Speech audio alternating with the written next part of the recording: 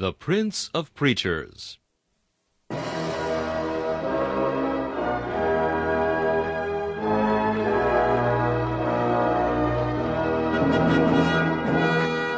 Charles Haddon Spurgeon has been called England's greatest contribution to the spread of the gospel in the 19th century. One of his contemporaries said that the chief secret of Spurgeon's attractiveness was the fact that, in every sermon, no matter what the text or the occasion, he explained the way of salvation in simple terms. Spurgeon's messages remain one of the great treasure houses of Christian literature, still bringing the light of the gospel and the comfort of the scriptures to hungry souls long after the preacher has passed into glory. This is Charles Kelsch inviting you to listen to a message from the Prince of Preachers.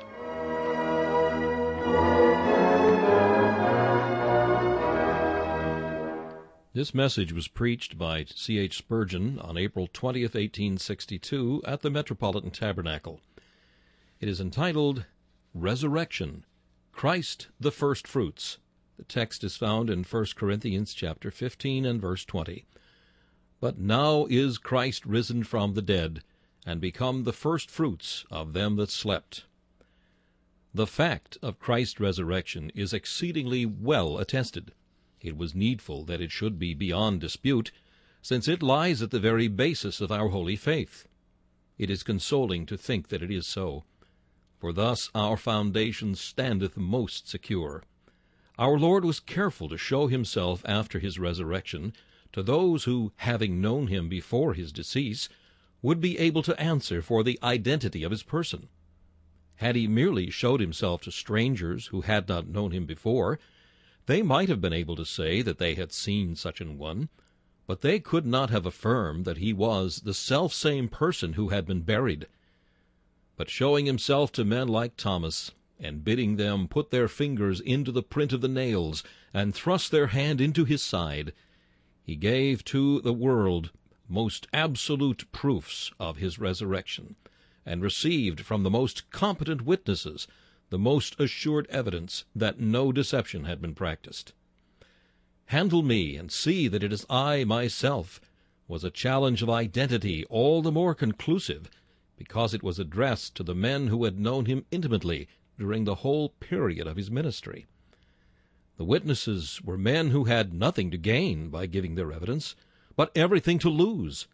They were unlearned men, utterly unfitted to found or promulgate an imposture, and their evidence was so clearly borne out by the absence of the body of Christ from the tomb that it was found necessary to invent an impossible story in order to account for that absence.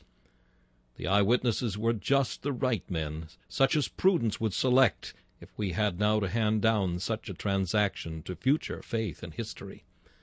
Our Lord, to put the matter beyond controversy, took care to appear many times and to numerous companies. The apostle gives a summary of those appearances which had most fully come under his notice. He was seen of Cephas, then of the twelve. After that he was seen of above five hundred brethren at once, of whom the greater part remain unto this present, but some are fallen asleep. After that he was seen of James, then of all the apostles. And last of all, he was seen of me also, as of one born out of due time.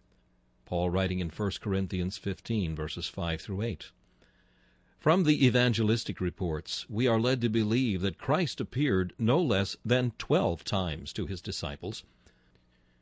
For some of these instances, which the Apostle Paul mentions under one head, may include two or three appearances. As, for instance, then of the twelve may denote his two visits to the apostles. For you remember he first appeared to them when Thomas was absent, and afterwards when Thomas was present. Isaac Ambrose gives a summary of these appearances to this effect.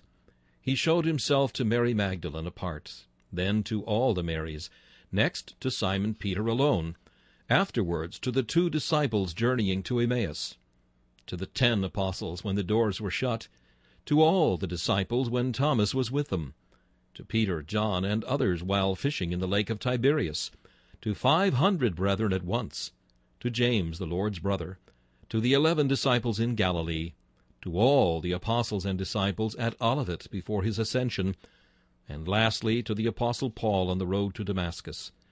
There may even have been more than these, for we have no proof that all his appearances are on record. Enough, however, we have, and more would answer no useful end.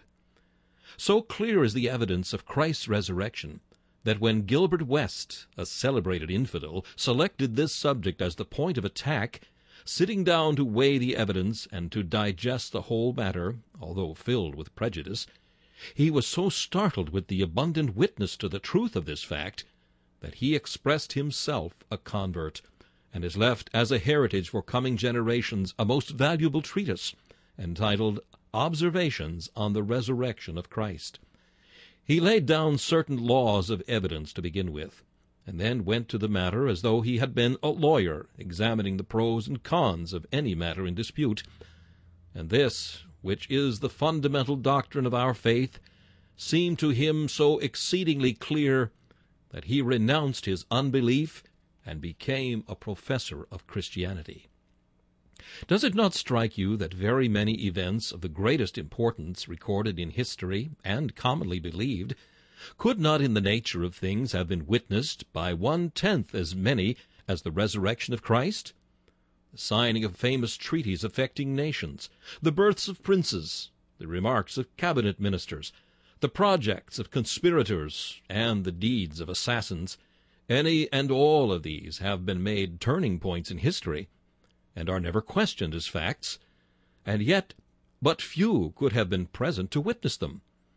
I venture to assert that even the most recent political event, which has caused so much sorrow to our whole nation, the death of the lamented Prince Albert, had not nearly so many witnesses as the resurrection of Christ, that if it came to a matter of dispute, it were far easier to prove that Christ is risen than to prove that the prince is dead.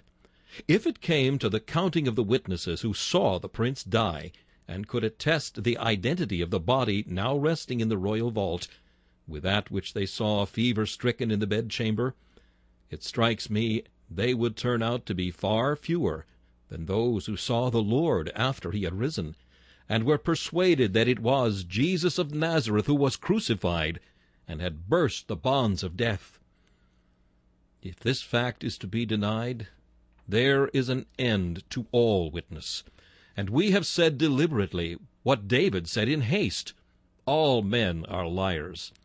And from this day forth, every man must become so skeptical of his neighbor that he will never believe anything which he has not himself seen.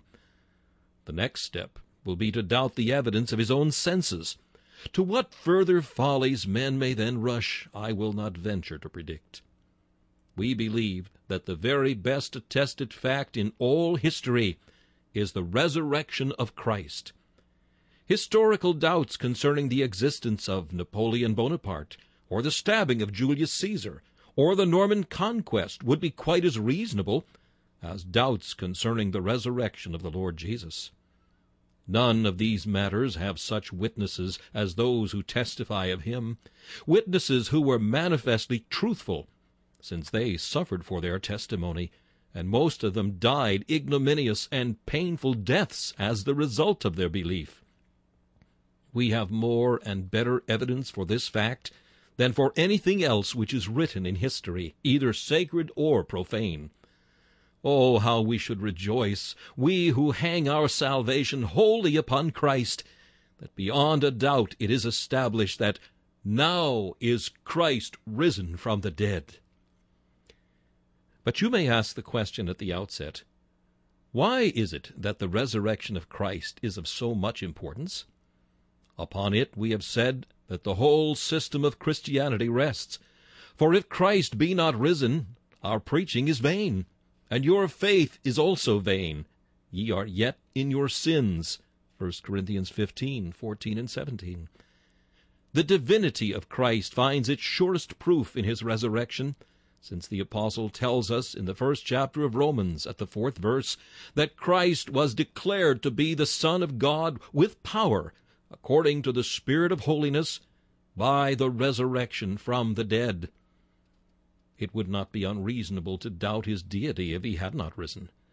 Moreover, Christ's sovereignty also depends upon his resurrection, for Scripture affirms, To this end Christ both died and rose and revived, that he might be Lord both of the dead and living. Romans chapter 14 and verse 9.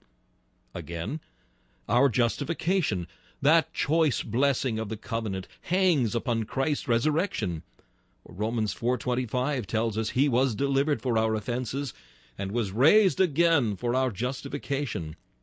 Nay, more, our very regeneration depends upon his resurrection, for Peter, speaking by the Holy Ghost, exclaims, Blessed be the God and Father of our Lord Jesus Christ, which according to his abundant mercy hath begotten us again unto a lively hope by the resurrection of Jesus Christ from the dead. 1 Peter 1 and verse 3. And most certainly, our ultimate resurrection rests here. For if the Spirit of him that raised up Jesus from the dead dwell in you, he that raised up Christ from the dead shall also quicken your mortal bodies by his Spirit that dwelleth in you. Romans the eighth chapter, the eleventh verse. If Christ be not risen, then shall we not rise. But if he be risen, then they who are asleep in Christ have not perished, but in their flesh shall they surely behold their God. It would not be difficult to enlarge this catalogue. The fact is that the silver thread of resurrection runs through all the blessings, from regeneration onward to our eternal glory, and binds them together. It is time to pass on and come more fully to the text. But now is Christ risen from the dead, and become the first fruits of them that slept. Let me draw your attention, first of all, to the pictures here given of the death of saints. Further, we shall observe the singular relationship which exists between Christ's resurrection and the resurrection of the saints. And ere we leave the subject, we shall suggest certain practical considerations arising from the doctrine before us. First of all, then, the text gives a view of death very common in Scripture, but not sufficiently accepted among us. The representation of the text, I take it, are twofold. Death is here compared to a sleep, the first fruits of them that slept. But, moreover, you will plainly perceive it is compared also to a sowing, for Christ is pictured as being the first fruits. Now, to a harvest there must have been a sowing. If the resurrection of Christ be the first fruits, then the resurrection of the elect must be looked upon as a harvest, and death would therefore be symbolized by a sowing. First, then, we have before us the picture so commonly employed in Scripture of death as a sleep. We must not make a mistake by imagining that the soul sleeps. Such a heresy was once received by a large number of persons. It has long ago been rejected as being inconsistent as well as with natural as with revealed religion. The soul undergoes no purgatorial purification or preparative slumber in the limbo of the fathers. Beyond a doubt, Today shalt thou be with me in paradise, is the whisper of Christ to every dying saint. They sleep in Jesus, but their souls sleep not. They are before the throne of God, praising him day and night in his temples, singing hallelujahs to him who has washed them from their sins in his blood. It is the body that sleeps in its lonely bed of earth, beneath the coverlet of grass, with the cold clay for its pillow. But what is this sleep? We all know that the surface idea connected with sleep is that of resting. That is doubtless just the thought which the Spirit of God would convey to us. The eyes of the sleeper ache no more with the glare of light or with the rush of tears. His ears are teased no more with the noise of strife or the murmur of suffering. His hand is no more weakened by long protracted effort and painful weariness. His feet are no more blistered with journeyings to and fro along a rugged road. There is rest for aching heads and strained muscles, and overtaxed nerves and loosened joints, and panting lungs and heavy hearts, in the sweet repose of sleep. On yonder couch, however hard, the laborer shakes off his toil, the merchant his care, the thinker his difficulties, and the sufferer his pains. Sleep makes each night a Sabbath for the day.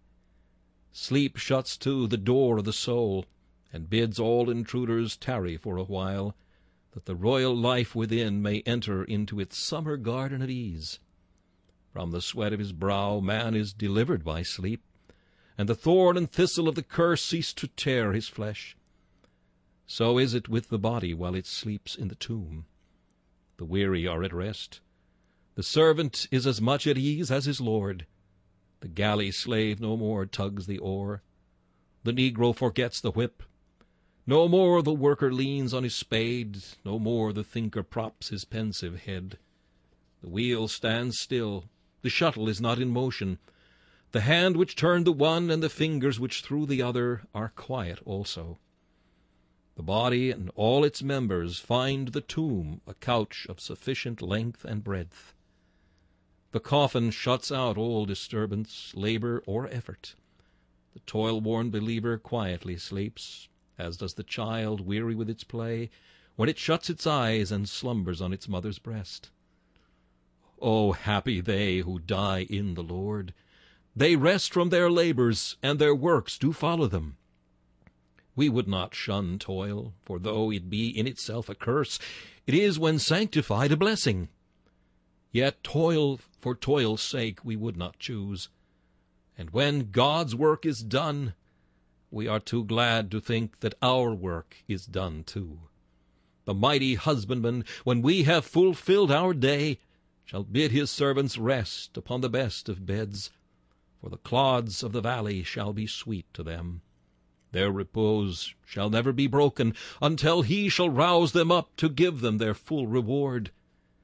Guarded by angel watchers, curtained by eternal mysteries, resting on the lap of Mother Earth, ye shall sleep on, ye inheritors of glory, till the fullness of time shall bring you to the fullness of redemption.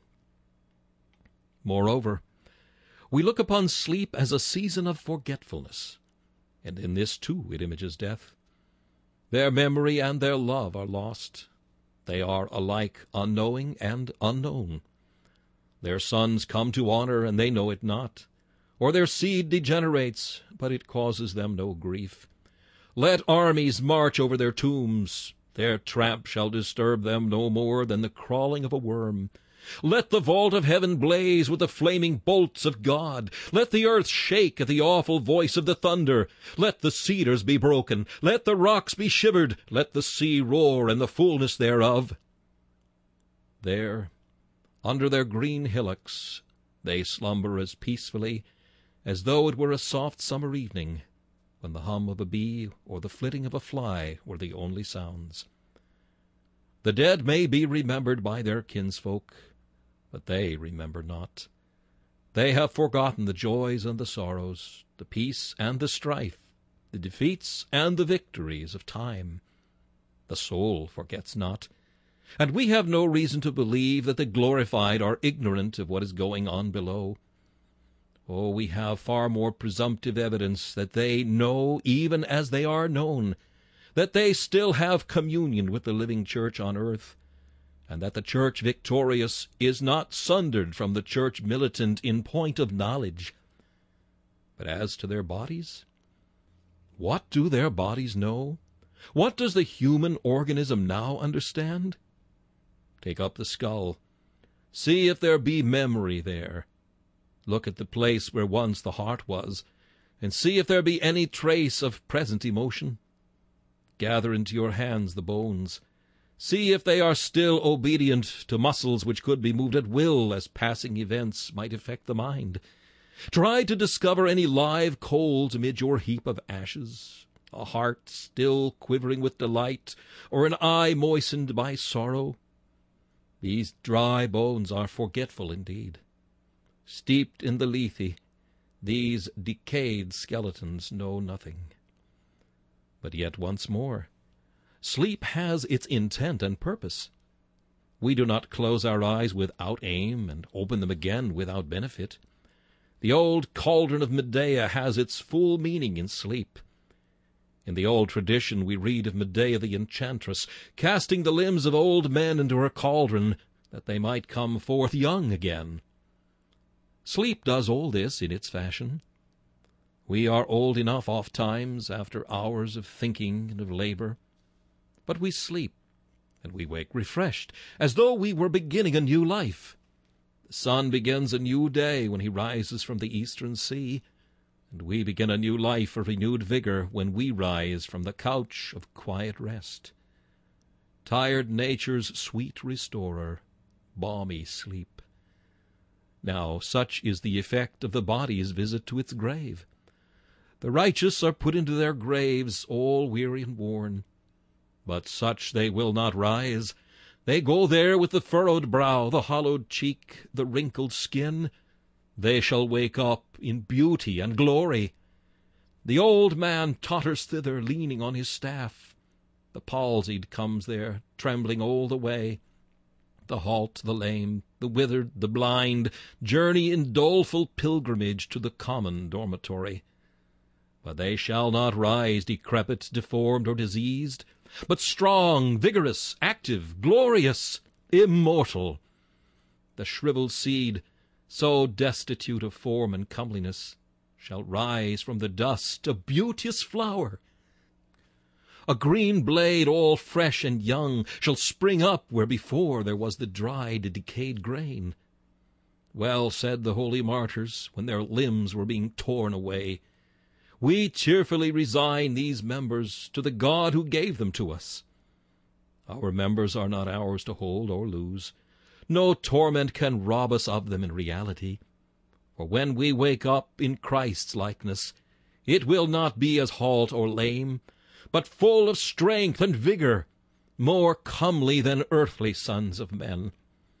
The winter of the grave shall soon give way to the spring of resurrection and the summer of glory. Blessed is death, since it answers all the ends of medicine to this mortal frame, and through the divine power disrobes us of the leprous rags of flesh, to clothe us with the wedding garment of incorruption. One reflection must not escape our notice. This is not a dreamy slumber. The sleep of some men is much more wearying than refreshing. Unbidden thoughts steal away the couch from under them and throw them on the rack. The involuntary action of the mind prevents us at times from taking rest in sleep. But not so with the dear departed. In that sleep of death no dreams can come, nor do they feel a terror in undressing for that last bed, for no phantoms, visions, or terrors by night shall vex their peace. Their bodies rest in the profoundest slumber. It is sleep indeed, such as the Lord giveth, for so he giveth his beloved sleep. Nor ought we ever to look upon it as a hopeless sleep. We have seen persons sleep who have been long emaciated by sickness, when we have said, Oh, that eye will never open again. He will sleep himself from time into eternity. We have felt that the sleep was the prelude of the eternal slumber, and might probably melt into it. But it is not so here. They sleep a healthy sleep, not thrown over them by death-bearing drugs nor fell disease. They sleep to wake, and not to die the second death. They sleep to wake, to wake in joyous fellowship, when the Redeemer stands in the latter day upon the earth. Sleep on, then, ye servants of the Lord. For if ye sleep, ye shall do well. Indeed, concerning these departed ones, we may well speak of taking rest in sleep. Dear friends, ought not this view of death as a sleep prevent our looking upon it in so repulsive a light? I know we like not to look at dead bodies. We are afraid to touch them. Some foolish people do not like to remain in the same house with a corpse, at least alone, or at night. There is a certain horror connected with the ruins of our earthly home. Did you ever feel horror at a sleeping child? Do you feel any sort of dread of your sleeping mother or your slumbering husband or wife? Have you felt it anything dreadful to draw back the curtain of the little cot, and to gaze upon the sweet young face when the eyes are closed in happy sleep? Oh, wherefore, then, should you think it dreadful to look upon the sleeping believer's brow? True, there are marks of decay which are not pleasant to nature, but are they not the footprints of the retreating enemy, and signs that the corruptible is passing away to make room for incorruption? Do not those very marks which mar the form betoken that the ragged, smoke-blackened tent of Kedar is being pulled down, that the curtains of Solomon may glitter in their stead, and that the soul may dwell there as in a fair pavilion? Oh, look not upon the departed as though they were dead, but speak ye of them as Christ did of his friend. Our friend Lazarus sleepeth.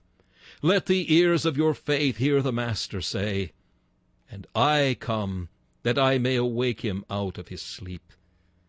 Let not the grave seem more abhorrent to you than your bedchamber. Let there be by no means such a view of the death of the redeemed as to wish them back again. Would you wish, when your friend has long been in excruciating pain, and at last falls into sleep, to shake him in his bed, to awaken him, to tell him some idle tale? No. You have been watching for hours, and you have said, Oh, that he could have a little sleep! Physician, can you not give some sleep to this poor tortured frame? And at last you have said, Thank God, his eyelids drop. Speak softly. Tread lightly. He sleeps. And you have been afraid even to let your foot fall upon the ground, lest you should break the sleep. And what? After all the pain, the suffering, the temptation, and the trial of your friends, do you wish to awake them? Rather, I think you say, I charge you, O ye daughters of Jerusalem, that ye ask not that he should be stirred up or awakened until Jesus please. Let him sleep on while the night lasts, and then at the trump of the archangel and the voice of God he shall wake in the morning when the sun has risen upon the earth. The text affords us, however, a second figure. Death is compared to a sowing. The black mold has been ploughed, certain dry-looking seeds are put into a basket, and the husbandman takes his walk, and with both hands he scatters right and left, broadcast, his handfuls of seeds. Where have they gone? They have fallen into the crevices of the earth. The clods will soon be raked over them, and they will disappear. So is it with us. Our bodies here are like those dry grains of wheat. There is nothing very comely in a grain of wheat, nor yet in our bodies. Yet Paul calls them these vile bodies. Death comes, we call him a reaper. Oh, Mark, I call him a sower. And he takes these bodies of ours and sows us broadcast in the ground. Go ye to the cemetery and see his fields. Mark how thickly he has sown his furrows, how closely he has drilled his rows, what narrow headlands has he left. We say, they are there buried. I say, they are sown. They are dead, say we. No, say I. They are put into the earth, but they shall not abide there forever. In some sense these holy bodies of the just are dead. For that which thou sowest is not quickened, except it die. But it is not a death unto death, but rather a death leading unto life. That mouldering body is no more dead than yonder decaying seed which you have just now disturbed in its bed of earth. It shall soon spring up again, and thou shalt see a harvest. We do lose sight, it is true, of those who have gone from us, for there must be a burial. How else can the seed grow? Truly it is never a pleasant sound, that rattle of the clay upon the coffin lid. Earth to earth, dust to dust, ashes to ashes. Nor to the farmer for its own sake would it be a very pleasant thing to put his grain into the dull cold earth. Yet I think no farmer ever weeps when he sows his seed. We have not heard the husbandmen groan and sigh when they scatter their baskets of seed corn. Rather, we have heard them cheerily sing the song of mirth, and have heard them anticipate the reaper's joy when they have trodden the furrows. Have ye seen them robed in black, or wearing the dull weeds of mourning, while they tread the brown ridges of the fertile earth? We grant you that in itself considered it were no wise or gladsome thing to bury precious grain amid dead clods of earth. But viewed in the light of harvest, since there must be a burial, and after the burial a rottenness and a decay, both of these lose all traces of sorrow, and become prophets of joy. The body must become worm's meat, it must crumble back to its former elements, for dust thou art, and unto dust shalt thou return. But this is no more our sorrow, for in Christ shall all be made alive. Nor will we even mourn because of the stench and rottenness of death. The life germ in the grain of wheat must begin to feed on the food laid up in store for it. A kind of decay must seem to take place. But I think no farmer ever weeps because the seed which he has put into the ground has swollen and lost its former size and shape. He mourns if he be told the seed he has put into the ground is undergoing the death that is necessary for its future upgrowth, but he rejoices in patient hope. Wherefore then, ye worms, should ye force me weep? And why, corruption, shouldst thou make me sigh? Rather will I call ye my brothers and my mother, for your kindly glooms are but part of the road to immortality. After sowing and decay comes an upspringing, and the farmer soon perceives, in a few short weeks, the little green blade, the sun of the buried life. So with the dead.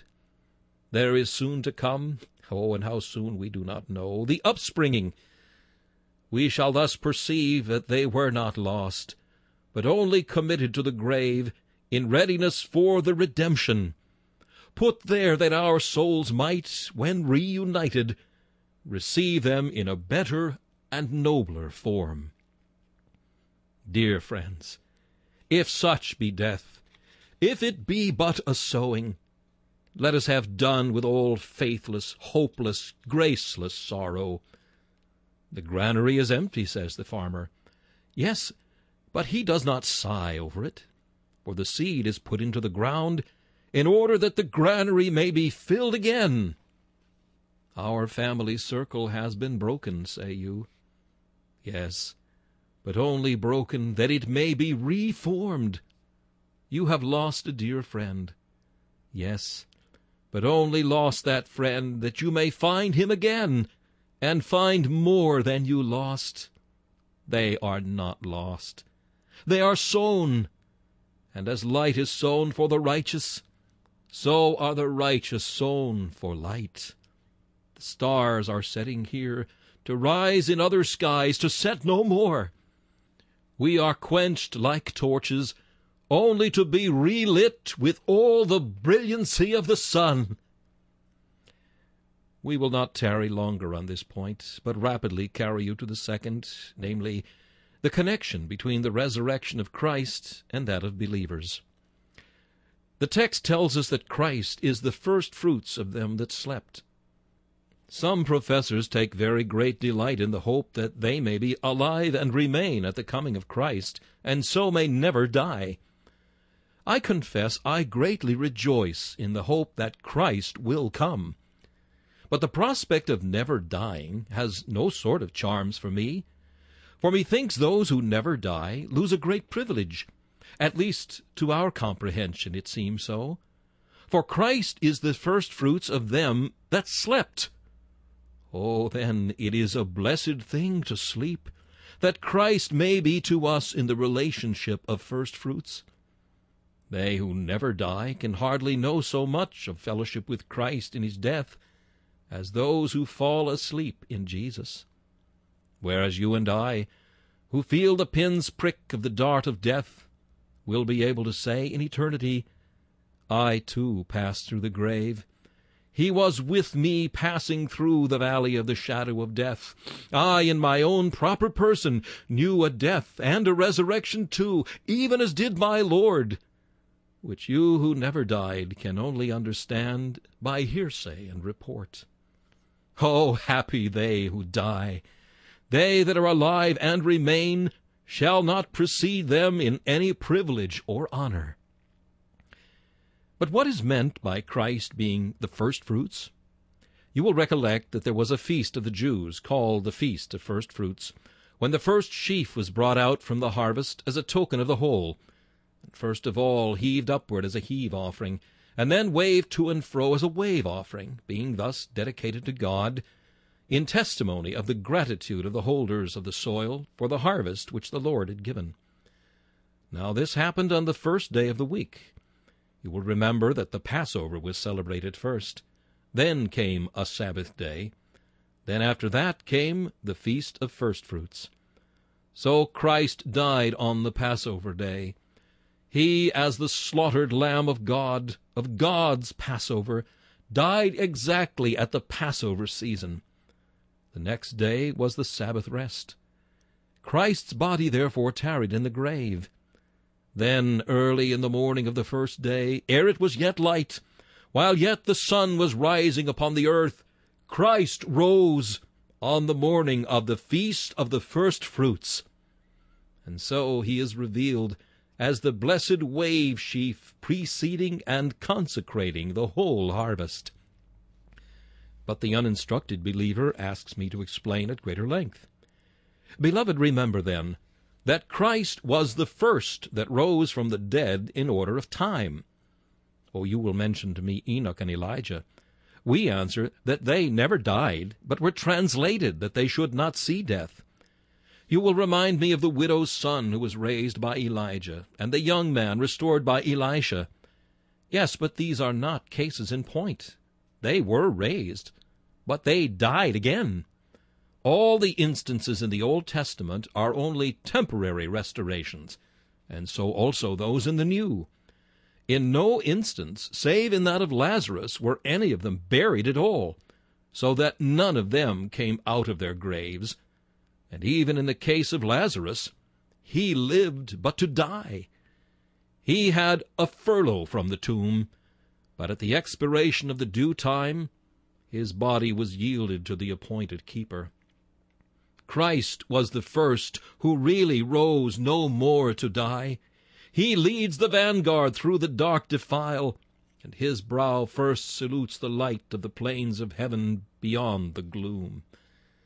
Men admire the man who is first to discover a new country. The name of Columbus shall ring in the ears of ages, because he first crossed the stormy sea to win another world. The name of the man who climbed the mountains and first saw the broad Pacific with exceeding great joy is well remembered. Oh, then, sing it in songs, sound it with the voice of trumpet to the ends of the earth. Christ is the first who returned from the jaws of death to tell of immortality and light. He is also first in point of cause, for as he comes back from the grave, he brings all his followers behind him in one glorious train. We read of Hercules in the old mythology descending into Hades and bringing up his friend. Verily went Christ thither, and he gave no sop to Cerberus, but cut off his head. Like a sun he suddenly flashed upon the night of death and scattered its darkness. Like Samson in Gaza, he tore up the gates of death and carried away the bars of the grave. Like David, he delivered his flock out of the jaw of the lion, took the monster by the beard and slew him. Like Abraham, he returned triumphantly from the slaughter of the kings. Like Moses, he led his Israel out of the house of bondage. With ten thousand times ten thousand, he came forth with a high hand and an outstretched arm. Who is this that cometh up from the land of darkness, from the gates of the grave? Who is this that draggeth behind him captive the grim prince of the realms of death shade? Who is this so strong, so mighty, that adamantine walls give way before him, and gates of brass are broken in twain? 'Tis he, 'Tis he! 'Tis the self-same conqueror who first came from Edom with dyed garments from Bozrah. The victory on the cross is succeeded by a victory in the tomb. He who won heaven for earth when he died wins heaven for the dead when he descends into the grave. Oh, sound ye his praises. Tell ye his victories. Let heaven itself take up the strain.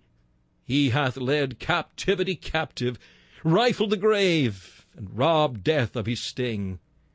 He is the death of death and hell's destruction. But then again, he is first in point of pledge. The first fruits were a pledge of the harvest. Whence, O husbandman, whence hast thou brought yonder sheaf? I gathered it, saith he, from the fields that are waving with plenty. Verily, saith the priest, the harvest is plenteous this year, and full and many are the ears, for this sheaf beareth good witness. Whence, O power divine, didst thou bring this glorious sheaf, this body of our Lord, so bright and glorious? Whence didst thou bring it, O Spirit of the Lord? Is there a harvest of many shocks of corn such as this? Ay, verily, saith the teacher, this is but one among many, the firstborn among many brethren. We know right well that there must be a glorious harvest of resurrection forms and immortal bodies, since Jesus Christ, clothed in immortality and light, walks among the sons of men, the pledge of all the rest. He was, again, the firstfruits, not only as a pledge, but as a representative of the whole. When the firstfruit sheaf had been waved before God, it was considered that all the harvest had been brought into the sanctuary. It was all dedicated, all consecrated from that very hour. So when Christ rose as a heave offering from the sepulchre, and when he went about among the people as a wave offering, moving among his disciples, he consecrated the whole harvest. All the righteous dead were virtually risen in him. All the chosen members of his body had a resurrection when their head appeared as risen indeed, and moreover, they were all dedicated and consecrated to God by his dedication as the first fruits to the Most High. Triumph, ye children of God! Triumph in this! Ye are risen in Christ today! We see not the saints as yet ascended. Rather, we see their bones dried in the valley, and we ask, can these dry bones live? But we see Jesus, who was made a little lower than the angels for the suffering of death. And we know that he is risen, and sitteth at the right hand of the Father. And by faith we perceive that as our covenant head he hath raised us up together, and made us sit together in heavenly places, even in him. For he is the head over all things to his church, which is his body, the fullness of him that filleth all in all. Never doubt, believer, of your resurrection, since the second Adam was loosed from the bands of the tomb. And now, lastly, we will close by noticing the influence of the whole doctrine of the resurrection and Christ's connection with it upon our own spirits. First, let us look well to the holiness of our bodies. Know ye not that your bodies are the temples of the Holy Ghost? If any man defile the temple of God, him will God destroy. We do not believe in consecrated churches. We think it altogether absurd to talk of holy bricks and mortar. But we do know by scriptural authority that the body is holy, that the body of the saint is as really holy as men pretend that churches and temples may be. Now, brethren, if our eyes look upon vanity, we have defiled the windows of God's house. If our tongues speak that which is evil, have we not desecrated the gates of the temple of the Lord? Let us see to it that our feet carry us nowhere but where our Master can go with us, lest the pillars of our house become our destruction, like the pillars of the Philistine temple of old. Let us mind that our hands be outstretched for naught but that which is pure and lovely, lest like Belshazzar we profane the vessels of the Lord's temple. They who pamper the body, they who look to its adornment, they who regard its physical health more than its moral purity, forget the higher end of their being. For what is beauty after all? What the comeliness which human skill can give? See you that skull? Go take that to my lady's chamber, and tell her, though she paint herself an inch thick, to that complexion must she come at last. And say to all who think so much of comeliness and goodliness, that deadly brown which worms and earth shall bring upon you, that is the natural complexion of man, and to that the fairest must be bronzed at last. But there is another way of minding your complexion, by seeing that your cheek never need be reddened with shame, that your hands are never black with evil deeds, and that your flesh is not soiled by lasciviousness or contact with that which is evil. Will you take the members of Christ and make them members of an harlot, saith the Apostle Paul, when he biddeth men see to it that their bodies be chaste and pure? Know ye not that your very flesh, if ye be Christians, has been bought with Christ's blood, and that precious is your very dust in his sight? Mind ye, oh, mind ye, that the slime of the serpent come not here, that ye defile not the members of your body, lest the Lord abhor you, and cast you out from his presence as things he careth not for, being none of his. Let us look at things in this light, and so, by the Holy Spirit, escape from sin. What? Shall these eyes that are one day to see the King in his beauty be delighted with vanity? Shall these lips that are to be tuned to melodious sonnets sung by flaming tongues above talk that which is light and frivolous and ministereth not unto edification? What shall these fingers that are to strike the golden harps be given up to work on righteousness with greediness? Nay, as we are to be fellows with the angels, and more glorious than they, and as these bodies are to be made like unto Christ's body, let us keep them pure, washed with clean water by his Spirit, renewed and preserved, that we go not astray unto sin. But secondly, another thought arises here. Are we among those for whom Christ thus stood as first fruits? For Christ is to rise first, as the first fruits, afterwards they that are Christ's at his coming. Then when do the wicked rise? There are two resurrections, and blessed and holy is he that hath part in the first resurrection. On such the second death hath no power. When the Lord shall come from heaven with the trump of the archangel and the voice of God, then the dead in Christ shall suddenly start from their sleep, and shall be offered to God as the great harvest, the great Pentecost, of which Christ's resurrection was the first fruits. What then shall become of the wicked? They shall continue rotting in their graves. The worm shall feed upon them. They shall be ashes beneath the feet of the saints. And while the righteous tread this earth, and on the scene of their conflict enjoy a thousand years of triumph, while Christ's feet shall stand in the latter day upon Mount Olivet, while his people shall bow around him, and shall reign with him, triumphant over the creature that was once subject to vanity. Beneath their feet shall the dead bodies be of their ungodly persecutors and deep down in their graves shall rot those infamous kings and princes, and those careless crowds and nations who knew not Jehovah, and would not be obedient unto his Son. They said, Let us break their bands asunder, let us cast his cords from us. And now, where are they? Death hath dominion over them in the morning, and the righteous triumph over them while they lie ignominiously, like those who fall in battle, a portion for foxes. But what then? When the splendors of the millennial age are over, then cometh the end. The king shall ascend the judgment seat.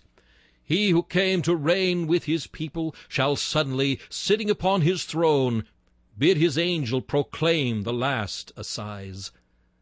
Then unwillingly shall souls tormented in hell come back from Tophet to be reunited with their equally guilty bodies.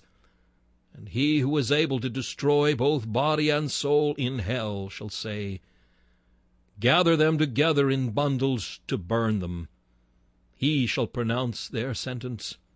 Depart, ye cursed, into everlasting fire in hell, prepared for the devil and his angels. Oh, that you and I may be among the harvest and not the vintage.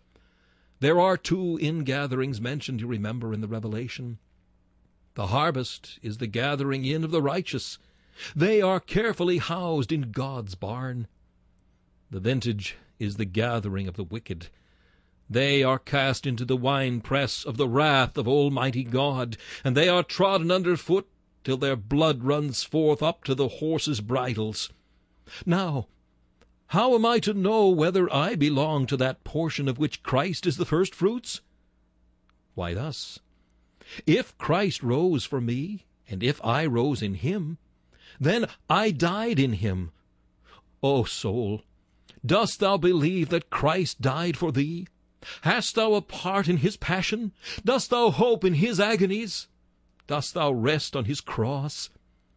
If so, he that died for thee rose for thee too, and thou art a part of that holy lump of which Christ was the holy offering. Hast thou died with Christ thyself? Art thou dead to the world? Dost thou hate the things that thou didst once love? Art thou weaned from thine own pleasures? Dost thou seek for something higher and better? Ah, then, if thou hast died with him, thou art risen with him. Say now, dost thou desire to be one with Christ? For if thou art one with him in heart, thou shalt be one with him in all his trophies and his glories. Dost thou say, Nay, I care not for Christ? Soul, soul, if thou diest in that mind, thou shalt have no part in the first resurrection. But when the wicked rise, then shalt thou awaken to shame and everlasting contempt. But, and if thou sayest in thy heart this morning, I believe that Jesus Christ rose from the dead according to the Scriptures, and I put my soul and only trust in him. He is to me all my salvation and all my desire. Go thy way. Thou shalt stand in thy lot at the end of the days. Thou shalt have thy portion among them that are sanctified. Thou shalt rejoice together with him, and sit down at his marriage banquet forever. God at his own blessing, for Jesus' sake. Amen. This message, Resurrection, Christ the First Fruits, was preached by Charles Haddon Spurgeon on April 20th, 1862. This is Charles Kelsch inviting you to join me again for another message from the Prince of Preachers.